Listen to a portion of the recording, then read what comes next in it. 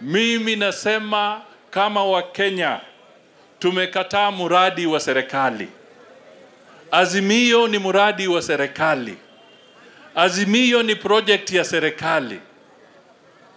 Hata siku hizi mkiangalia, kazi ya Azimio ni kufanya mikutano kwa mahema. Wakienda Kakamega hawaendi kwa wananchi, wanaenda kwa hema. Wakienda wapi? Wanaenda kwa hema, hema ambayo imelipwa na serikali.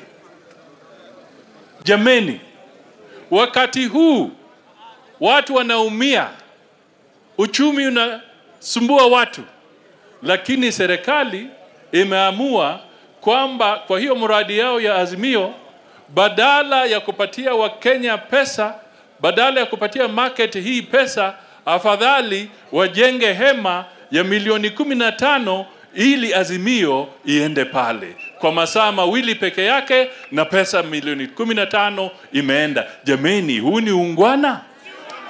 Huu ni ungwana? Hii ni kuhadaa wananchi. Huu ni wezi, huu ni wezi, kwa sababu pesa za serikali zinatumika kwa project ambayo siyo halali.